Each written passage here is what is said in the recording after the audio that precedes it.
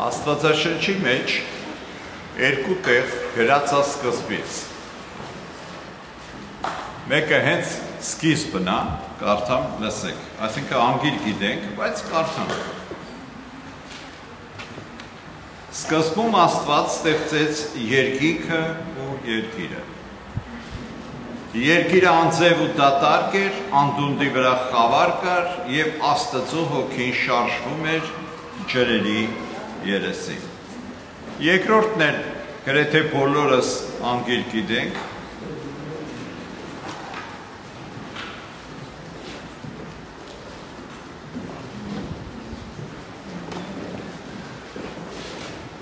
Սկզբում էր բանը եւ բանն Աստծո մոտ էր եւ բանն Աստված էր։ Նա սկզբում Աստծո մոտ էր ամեն ինչ նրանով եղավ եւ առանց նրա ոչինչ չեղավ, ինչ որ եղավ։ Նրանում էր կյանքը եւ կյանքը մարդկանց լույսն էր։ Լույսը խավարում լուսավորում էր, խավարը չճանաչեց նրան։ Երկուսն էլ բոլորս անգիր համարյա գիտենք։ Սա շատ կարևոր բաներ են։ Այստեղ երկրորդ Հովանեսի մեջ, որ գրված է երկրորդ սկզբումի մեջ, գրած է, որ առանց նրա ոչ մի բան չեղավ։ Մենք հետևեցնում ենք, որ նրանով աշխարհը ստեղծեց, որ առաքելական ուղերձներում էր կա։ Ուրեմն Հովանու ավետարանի սկզբում էր բանը կամ խոսքը շատ ավելի հինա, քան Աստծո ստեղծագործությունը։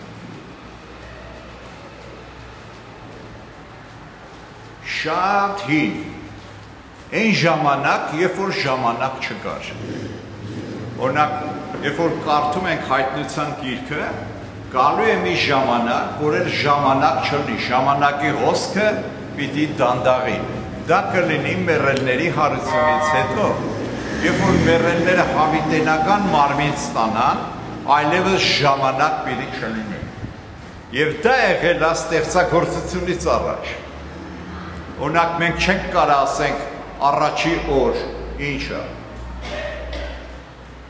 Ես չգիտեմ։ Ոչ ոք չգիտի ինչը։ Որովհետև օրը, որ պայմանավորված էր երկրագնդի պտույտով, այտենց երկրագուտ չկար, որ պտտվեր։ Սրանք շատ կարևոր են, որ քրիստոնյաներն իմանան։ Եվ այս իմաստությունը մեզ տարբեր մի բանի է հանգեցնում։ Շատ քչերը կհիշեն ֆրանսիացի մի վարդապետ եկավ մեր մոտ։ Ոտաբոբիկ այդ սանդալներ հակած չեմ ապա հիշեք Դանիել Անժ։ Վերջը։ Ֆրանսիայից։ Հա։ Շատ հետաքրքիր մարդ էր։ Այս մարդը ասում էր, որ երբ որ ցանկացած մարդ բեղնավորվում է, Աստված այդտեղ կանգնած է այդ բեղնավորման մեջտեղը։ Որովհետև Հիսուսը ինչ էր, հիշում եք, սկիզբը ու վերջը։ Դրա համար եկեղեցին, եթե նորմալ եկեղեցի է, չի կարող ասի, որ աբորտը լավ բան է։ Եթե բժիշկները հրաման չեն տվել։ Ուրեմն սրանք մեղքեր են, որ մենք հարատև գործել ենք սա կարևոր է անկալելու համար, որ մարմնավոր մի ծնունդ կա եւ հոգեվոր։ Օրինակ ես հերս շատ հիվանդ է եղել Սիբիրում, ինքը Սիբիր չէր ասում, ասում էր Քերանց գյուղում։ Ուրեմն սրան ասել են Գառնիկ չվախենաս, հեսա գնալու ես մի հատ տղա ես ունենալու ու ինքը եկել է ես ծնվել եմ եւ շատ հետաքրքիր մի բան է որ ես չպետք է ծնվեի ուղակի ծնվել եմ ես այս պատմությունը երբ որ լսեցի ես տեսա որ Աստված իմ վրա ծրագիր ունի բայց ես ես հետաքրքիր մի բան եմ ուզում ասեմ այստեղ ովքեր կան բոլոր մարդկանց համար Աստված հետաքրքիր ծրագիր ունի, շատ կարևոր մի ծրագիր։ Եվ այս ծրագիրը օգտվելու օգտագործելու, կիրառելու, ներգործելու համար Աստված կարիք ունի մեզնից յուրաքանչյուրի օգնությանը։ Աստված Նյուտոնին չէր նախատեսել, որ Նյուտոն դառնար։ Աստված բոլոր մարդկանց համար յուրահատուկ մի ծրագիր ունի։ Մարդը ինչքան խոնարհվի, այնքան Աստված նրան կբարձրացնի։ Այսօր մենք պիտի քննենք նաև հաջորդը։ Մեր ծնվելուց հետո մենք երկու քուր ենք եղել, երկու եղբայր, բոլորին մկրտել էին ինձ չէ։ Ես մեծացել եմ 1971 թվականին ինքնուրույն որոշում եմ ընդունել, որպեսի մկրտվեմ։ Չէին մկրտվում։ Դες մի քիչ ասում են խելոք տղա է, ես իմ ինչ կրնի, իր առաջ գնալու կխանգարի, որ իմանան մկրտվելա եւ այլն։ Ուրեմն մարդ կա, որ մեր երեխեքը 40-ի մեջ են մկրտվել, եւ այդ երեխեքին մենք միշտ ասել ենք, որ դուք նոր ծնունդ եք ունեցել։ Բայց մենք գիտենք, որ մեզնից բոլորը գրեթե մկրտության ուխտը խախտել են։ Անցյալ անգամ մենք մանրամասը խոսեցինք։ Մարդուն ասում ենք, դու արդարացել ես, չէ, ես ինչ իմանամ։ Ոնց, բայց մկրտվել ես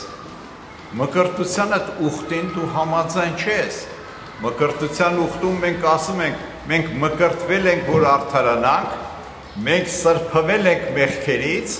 մենք ազատվել ենք դևերից եւ չորրորդը ծառայում ենք Աստծո։ Մարդ կա, որ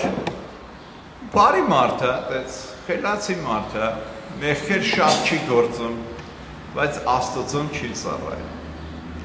Փաստորեն այդ մարդը խախտել է մկրտության ուխտը։ Աստծո հետ կնքած ուխտը։ Եվ այս մարդը պիտի ապաշխարի, պիտի դարձի գա, պիտի վերանորոգի իր ուխտը Աստծո հետ։ Մենք երբեք չենք խառնում մկրտության ուխտը կամ դարձի գալը ապաշխարության այս աղոթքը ապաշխարության խորհրդի հետ։ Ինչի համար? Որտեղ ապաշխարության խորհուրդը, որ եկեղեցին ունի, այդ ապաշխարության խորհուրդը կիրառելի է միայն հայ եկեղեցու անդամի համար։ Բայց մարդը մենակ մկրտվելով չի կարա անդամ դառնա, մկրտության ուխտը պահելով էլ պիտի ուրեմն անդամակցի։ Այսօր եկեղեցու ընթերցումը շատ հետաքրքիր է։ Մեզ սովորեցնում է ոնց կարող ենք Եկեղեցին մեզ սովորեցնում է ոնց կարող ենք ճիշտ քրիստոնեական կյանքը ապրել։ Ուրեմն ինչն է մեր դժվարությունը, ինչն է մեր հեշտ լինելը եւ ինչ պիտի անենք, որ հավիտենական կյանքի այդ օրենքը ուժը ներգործի մեր կյանքի մեջ։ Ես ուզում եմ այսօր եկեղեցու ընթերցումը կարդանք եւ սերտենք։ Մատթեոս 18-րդ գլուխ։ Ես աղոթք եմ անում, որ ես խոսքերը լսելու ժամանակ դուք էլ աղոթեք, տեսնեք այդ բանը, եթե չեք պահում, խնդրեք Աստծուն, որ ձեզ զորություն տա այս սրբացման կյանքը, առաջացման կյանքը, առաջ զարգանալու կյանքը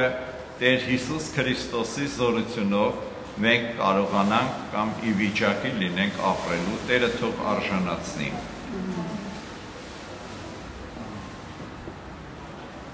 Հիսուսի քարոզնա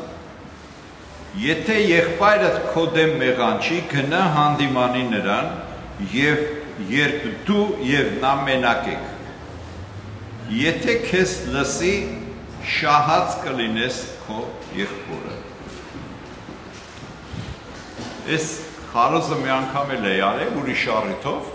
մի քույր քարոզից հետո եկավ ինձ ասեց. Համլետ եղբայր, դու երեք ինձ տեսել չես բարևել։ Ասիկ Տուրջան, ներող եղի, որտեղ եմ տեսել։ Նա փողոց ասեց ստեղները, որ ես կյանքում երրորդ մասում եմ ապրել, փողոցում չեմ եղել։ Ես էլ այս քրոջը ասի, մեղք եմ գործել, կներես, բայց դու խի չեկար բարևելու։ ինքը զարբ ասաց երեսից նայեց։ Ես տղա եմ, էլի կարող է այդ ժամանակ մի աղմախ բան եմ մտածել, չեմ բարևել։ Բա դուք ի՞նչ եկար։ Զարմացա։ Բայց ի՞նչն էր հետաքրքիր։ Ես որ իրան չէի տեսել, այդ փողոցում երբեք չեմ եղել։ Ես մեղա եկա։ Ես իրան բռնեցի, որ ինքն էլ արտավոր էր ինձ մոտենար ասել. «Վայ, Համլետ ջան, բարև, ո՞նց ես»։ Բան էլ չի արեք հայ։ Ինքը մեղա չեկավ։ Այնքան հետաքրքիր է այս բանը։ Ուրեմն, եթե սրտներից մեջ անկեղծ որևէ մեկի հետ հարց ունենք, Աստվածաշունչը ասում է մոտեցիր, Հիսուս իր բերանով քարոզում է ու նրա հետ քո հարցը լուծի նրան հանդիմանի։ Իսկ եթե չլսի, ապա քեզ հետ վերցրու մեկ կամ երկու հոգի, որ երկու կամ երեք վկայի բերանով ամեն բան հաստատվի։ Ուրեմն երկու կամ երեք հոգի ես վերցնում, նույնը կրկնում ես։ Այս մարդն ասում է, չէ, ես լավ եմ արել։ Էտել էր քիչ քեզ։ Ես պետք հայհոյելի ասպատես պատահում է Հիսուսը։ Եթե նրանց էլ չլսի, հայտնիր եկեղեցուն։ Եթե եկեղեցուն էլ չլսի, ուշադիր լսեք։ Նա քեզ համար մի հեթանոս ու մաքսավորի պես լինի։ Մենք այս բանը չենք Մի քանի քույրեր եկան, մեր քույրերից մեկի մասին պատմեցին։ Ասին իրեն չես թողել գա քարեցի։ Հա, ասի, հարցրել եք իրան խի չենք թողել, չի ասին։ Բախի չեք հարցրել։ Բա այդ ոնց է մենք սարուծոր ընկած մարդկանց ենք կանչում, այդ մի քրոջը հատուկ ասել ենք չգա։ Սա կարճամտություն է քրիստոնեական։ Եվ հենց այդ քրոջ հետ ես պետք է մոտի կլնեմ, խի։ Բայց մարդիկ քարոզիչներով, խմբով, վարչությունով, հոգևոր խորհրդով նստե ասել են, այս քույրը իրավունք չունի գա։ Այս դու էս ինչ լայն սիրտ ունես, ընդունում ես դրան։ Տեսեք ինչ է ասում ավետանը։ Ասում է հեթանոսի ու մաքսավորի նման նրան համարի։ Այսինքն վերջ։ Մենք Աստծուց երկարամիտ չլնենք, Աստծուց ներող ու սիրող չլնենք, մենք կարողանանք հանդարտ խաղաղ քրիստոնեական կյանք վարենք։ Սա եկեղեցու պայմանն է։ Հիմա տեսեք շատ հետաքրքիր բան է։ Ճշմարիտ եմ ձեզ ասում, ինչ որ կապեք երկրի վրա կապված պիտի լինի երկնքում, ինչ որ արցակեք երկրի վրա արցակված պիտի լինի երկնքում։ Սրանից առաջ կապելն ու արցակելը վերաբերվում էր մեղքերին, չէ՞, տենց հիշում եք, հա, տենց բան։ Ում մեղքերը ներեք, ներված լինի, ումը չներեք, ըստեղ էլ ասում է կապեք, կապված լինի, արցակեք, արցակված լինի, մեղքի հարցը չի։ Անցյալ օրը մի գիրք եմ կարդում, շատ հետաքրքիր գիրք է։ Այս տղեն ինքը բողոքական եկեղեցու աստվածաբան է, դոկտոր է, մոկտոր է, ես իմ ինչ է։ Ուրեմն այս մարդը ինչ հետաքրքիր բան է գրում։ Անեց է շարադրեմ, որ Հիսուսը շատ բաներ է սովորացրել, այդ թվում նաև պատարակը։ Ինքն է գրել, գիտես։ Այն մարդը ասում եմ մտքիս մեջ, իրան էլ տենամ, ասեմ դու քու գրածին հավատում ես։ Մենք խաղ արեցինք Աստծո եկեղեցու հետ Իրոք որ միջնադարում թե մեր թե կաթոլիկ, թե օրթոդոքս եկեղեցիները ծայրահեղ հիմար բաներ էին անում։ Ավելորդ բաներ էին պաշտում, ավելորդ բաներ էին անում, բայց դա չի նշանակում նրանց հիմքը սխալ էր։ Մենք հեքիաթների ժողովածու չանենք։ Հեչ պետք չի, որ Աստվածաշնչում գրած լինի գլխից շորթի, տենստեղ չկա է։ Մարդիկ բերում ինձ ցույց են տալի, ասում են, «Բալը հետո կարդա»։ Ասում են, թե գլխի չոր չես սկսեմ, մազերը կտրի։ Այսօր ես չեմ հավատում, ստե մարդը լինի մազերը կտրած չեն։ Բայց գլխաշորի օրենք ունենք, որ նա ով գիտի։ Մեր եկեղեցին ասում է աղոթքի ժամանակ գլխաշոր գցի։ Շատ հասարակ են հարցերը լուծվում։ Մենք չպետք է ճորոյացնենք։ Ինչ ասա, ինձ ասա։ Արտաշես։ Ներվել ես։ Հա։ Ուրեմն շատ կարևոր է, որ երբ որ հայ եկեղեցու մեր եկեղեցական ընկալումը շատ հետաքրքիր է։ Կոչվում է առաքելական ընկալում։ Մենք ինչ ենք հավատում։ Մենք հավատում ենք, երբ որ աշխարհում բոլոր եկեղեցիները մի հատ են եղել, մի են եղել, ինչ որոշում որ կայացրել են, այդ որոշումը ճիշտ է։ Բայց երբ որ բաժանվել են, ամեն մեկը իր խելքի կտրած որոշումն է կայացրել, այդ որոշումները մենք հավատում ենք, որ տիեզերական ճշմարտություններ չեն։ Օրինակ չեմ համ վիապար Վազգեն առաջինի ժամանակ հայերի սպանությունը կոտորածները 1915 թվին մոտ 56 երկիր հոգևորականները ճանաչել են գենոցիդ։ Այսինքն դիտավորյալ այս ինչ ազգը ոչնչացնելու է։ Ուրեմն այսօր չկա մի եկեղեցի, որ այդ չճանաչի։ Ուրեմն երբ որ մեր այդ Քրիստոսի հավատի համար զոհվածները սրբերի կարգն են անցել, սա տիեզերական որոշում է։ Ինչի համար, որովհետև բոլոր եկեղեցիները այդ որոշումը կայացրել են։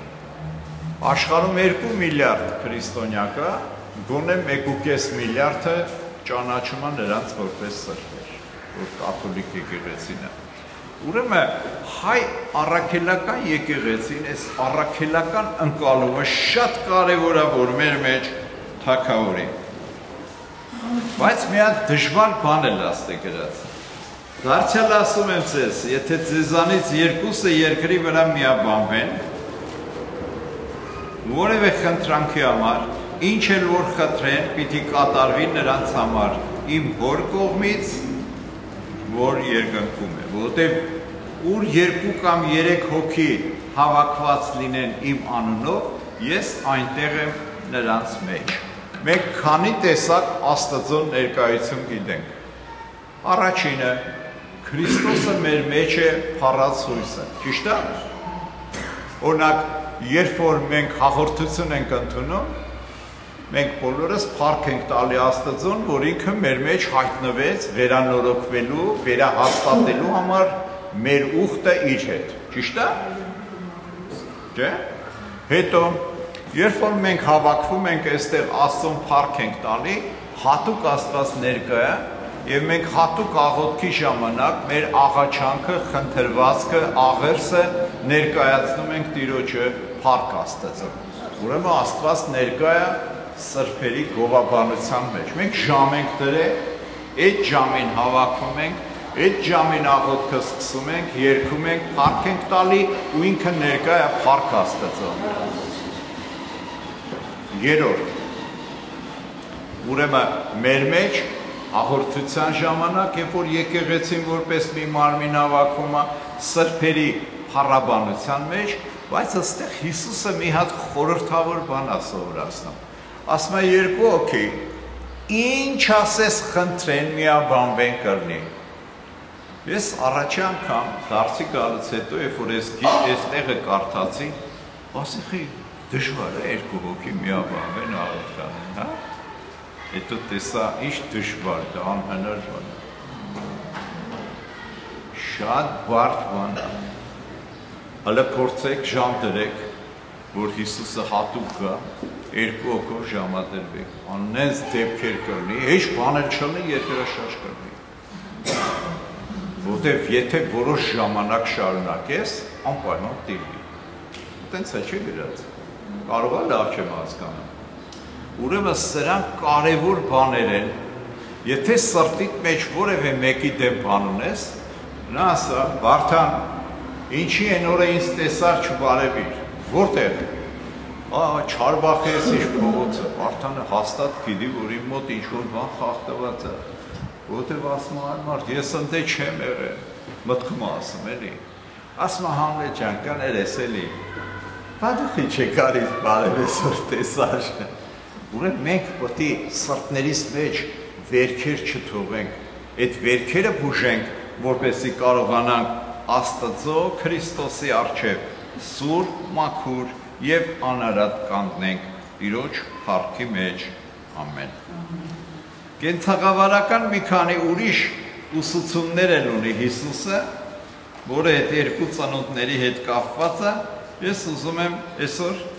կամած քիչ, այդեն շատ խորը չէ, բայց իրար հետ հանդարտ սերտենք այդ գեղեցիկ դրույթները։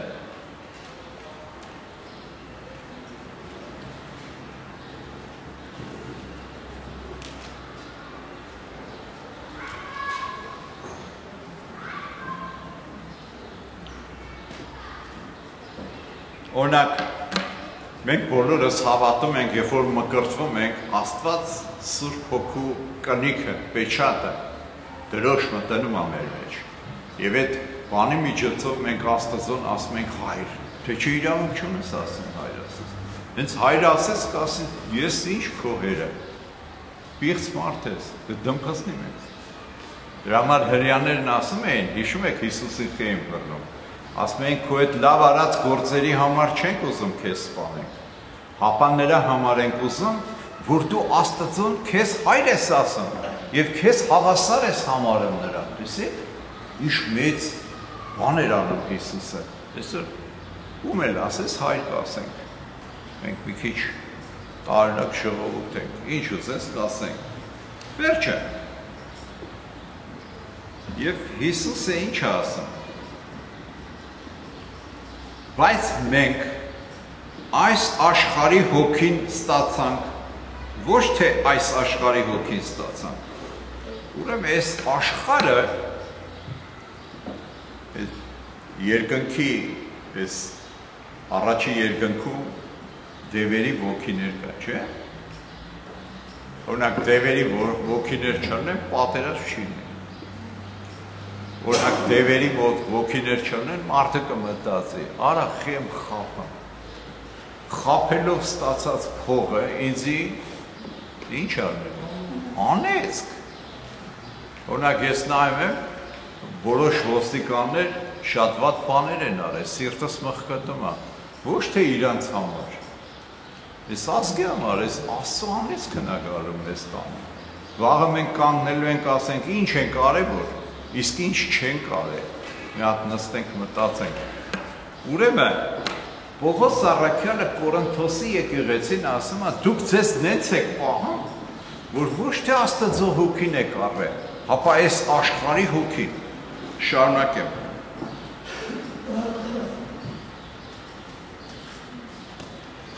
որ ճանաչենք այն ամենը, ինչ Աստծոց շնորհվեց մեզ։ Օրինակ,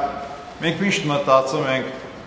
Այն օրը մտածում եմ, այ մարդ, ես էս եկա մարդ եմ տարիքով չէի իմացել։ Հերս մեռ է, մերս մեռ է, քուրերս, փեսաներս, աղբերս, սա մահացել են։ Դուսա գալի մեջների մեծը ես եմ։ Բայց ես մտքովս չի ալցել։ Ուրեմն ահագինը տենց տարիք ունեմ։ Հետո իսկական որբ եմ։ Հետո բայց ես չեմ մտածում, ես մտածում եմ ինչ չունեմ Բայց Աստված մեզ ասում է. Տղա ջան, բալես, դու իմ որդին ես, մի քիչ ուրիշ ձևի մտածել սովորի։ Ինչն է այդ ուրիշ ձևի մտածելը, որ ես մտածեմ, թե ինչ ունեմ։ Սա էական, կարևոր, շատ կարևոր մի հատկանիշ է։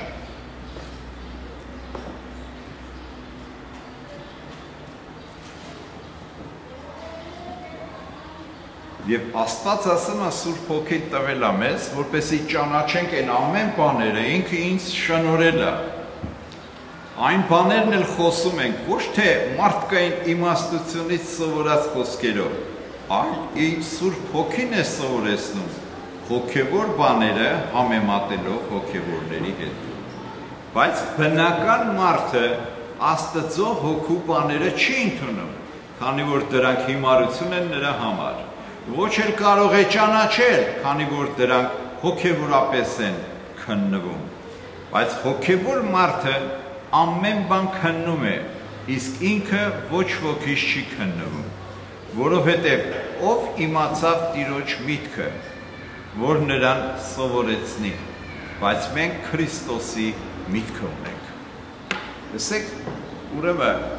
հոգևոր կյանքում ապրելուց մարդը սկսում է Քրիստոսի միտքը ունենալ։ Դա ձեզ մազալու բան ասեմ։ Ուրեմն այս երկրաշարժին եղբարակցություն շատ են գնում լենական, մարդկաց փող են բաժանում։ Ես մի անգամ եմ տեսել, շատ չեմ տեսել, հետ այդ օրվանից չգնացել։ Այս նա կլո 500 ռուբլի տվինք, այն վաղ հիշում եք, մեծ գումար էր։ Էսի հանե մեզի 50 ռուբլի տա։ Լուրջ լուրջ, նվեր չէի տեսել, լսել էի, բայց չէի տեսել այս բան։ Ասենք ես քեզ տալի։ Ասել ես էլ մեր իմ կողմից ձեզ են տալի։ Ասում եմ, բայց այդ 500-ը իմն է, կարամ վերցնեմ, չտամ։ Ոչ ստորագրել ես, ոչ բան, ինքը սովոր է։ Ինչա սովոր։ Հիմնարկում որ պրեմիա են ստանում, պետք է մի մասը տա։ Մենք այս ձևի ենք սովոր Այս ձևի ենք ապրում, եւ դա շատ սահմռկեցուցիչ բան էր։ Ես այնքան աստվեցի, մեր եղբայրներից մեկը ասեց, եթե աստվում ես, դու մի գնա, դու չես կարա մարդկանց օգնես։ Բայց դե ինչ հետաքրքիր բան ասում։ Եթե մենք անկեղծ ենք ապրում քրիստոնեական մեր կյանքը, մեր մեջ է ձևավորվել մի միտք, Քրիստոսի միտքը։ Այս երկաշարժում երկրորդ բանն էլ պատմեմ։ Ուրեմն այդպես շատ իրեր էինք ստանում, այն վաղ տենց ստուգում բան քիչ կար։ Ասում է, էսի ուղարկել են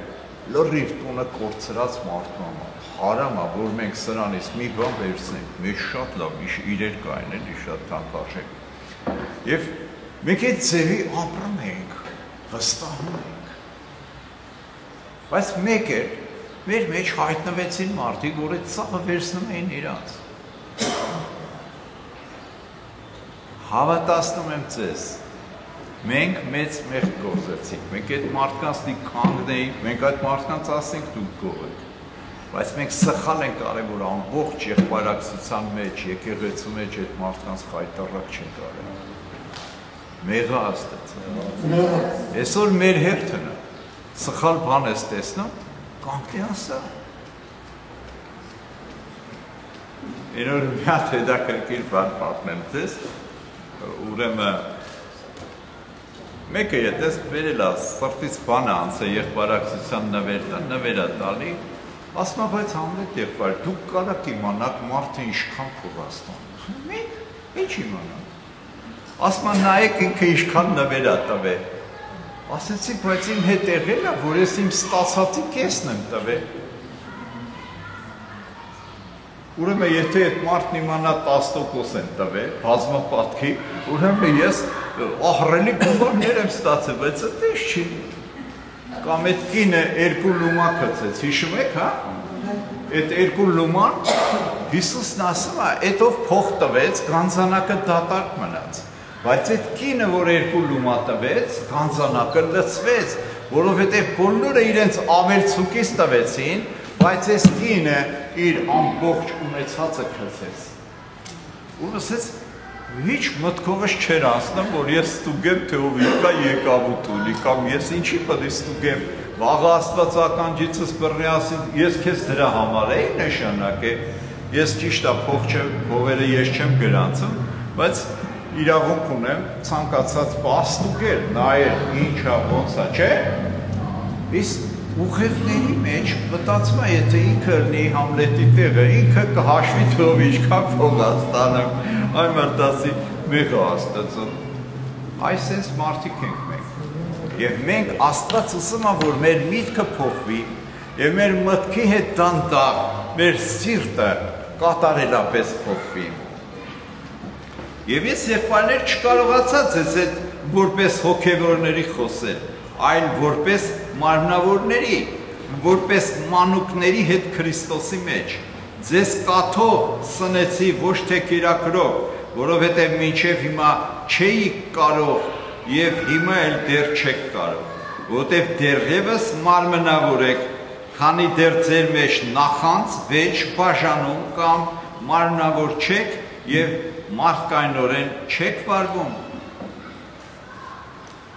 Ուրեմն առաքելը դեմ հանդիման դուրս եկե մի փաստի հետ։ Մարդը քրիստոնյա է, մարդը լեզուներով է խոսում, չէ՞, Կորինթացի։ Ինչ լեզուց ես խոսում է, մեծ մասն էլ թարգմանող չունեն, էլի են խոսում։ Մենակ թե պլանը կատարեն, սովետի մարդը։ Բայց առաքյալն ասում է, որ դուք սխալ ճանապարհի վրա եք։ Դուք մարմնավոր եք, որպեսի օգտագործեք ձեր մեջ բնակվող Սուրբ Հոգին, ձեր մարմնի ցանկությունները ճնշելու ընդհակառակը մաննավոր մտքերն ու գաղափարները իշխում են ձեր մեջ։ Ինչի՞ց է երևում դա։ Իշպեք Ագոպոս Արաքյանը իր ուղերձի մեջ ասում է հավատք ունես ինձ ցույց տուր։ Է ոնց հավատքը ցույց տամ սրտով ենք չէ հավատում, չէ։ Մտքով չես կարա։ Սրտով սիրտը ճղես հավատքը կերևա, չէ ասма դու ցույց տուր քո գործերը եւ ես կիմանամ որ քո հավատքը իրական է այս Պողոս Արաքյանն էլ նայում էր սրանց ինչա տեսնում տեսեք նախանձ ունեք վեճ ունեք վաշանումներ կան մարմնավոր չեք եւ մարդկայնորեն չեք վարվում Որտեվ եթե մեկն ասում է ես Պողոսյան եմ, մյուսը ես Ապողոսյան մարմնավոր չեք, ով է Պողոսը կամ ով է Ապողոսը ծառայողներ որոնց միջոցով հավատացիք, ինչպես Տերն ամեն մեկին տվեց։ Ես տնկեցի, Ապողոսը ջրեց, բայց Աստված աճեցրեց։ Ուրեմն ոչ տնկողն է մի բան, ոչ էլ ջրողը, այլ Աստված, որ աճեցնում է։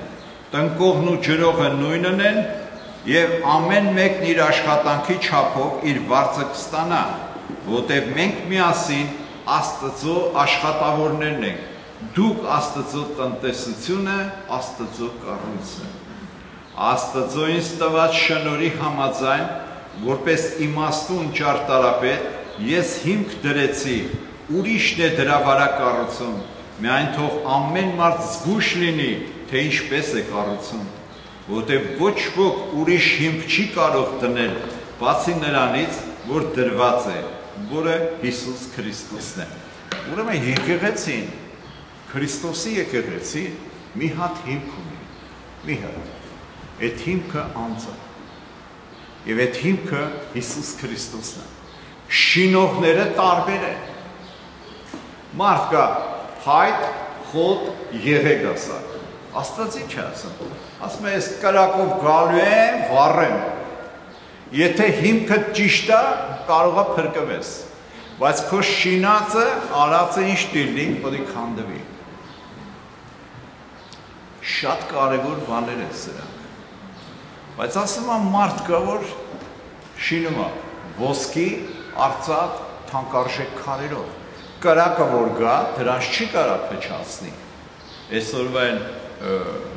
բիժուտերիա են ասում, ինչ են էժան քարերը, չէ՞։ Կրակի մեջով անցնես կբարձր մոխի գտարում։ Առանց կրակի էլ վառվում փչանում են, կընծրոտվում են։ Հա? Բրիլյանտ։ Հա։ Ուրեմն մենք տեսնում ենք, որ հիմքը ուրիշ չի կարող լինի։ Մի հատ հիմք կա, Հիսուս Քրիստոսը։ Եվ մենք պետք է աշխատենք Քրիստոսի միտքը դանդաղ ձևավորելով մեր մեջ, Սուրբ Հոգիով քայլելով ընթանանք Տերը թող մեզ առաջնորդի։ Անցյալ օրը մի հատ հետաքրքիր բան կարդացի, շատ աստվեցի, որ չէի գլխի Օրինակ գործ կառակելոցում կան եպիսկոպոսներ, երեցներ, վարդապետներ, քահանաներ, ուսուցիչներ Կորինթոսում որ գրում է, չէ՞, գործ կառակելոցի ժամանակ։ Մեկը մեկին չի հրամայում։ Ինչի՞։ Չեն հրամայում կարգադրում։ Որտեղ ամեն մեկի իր Ամեն մեկը սնվում է գլխից, որը Հիսուսն էր։ Օրինակ ես ամեն օր չեմ ասում, ձեռք մի շարժվի որ չշարժեմ, չի շարժվում։ Եթե ես ձերքս չեմ ուզում շարժեմ, շարժվում, այ ինչ ենք ասում։ Հիվանդ է։ Ուրեմն եթե մարդը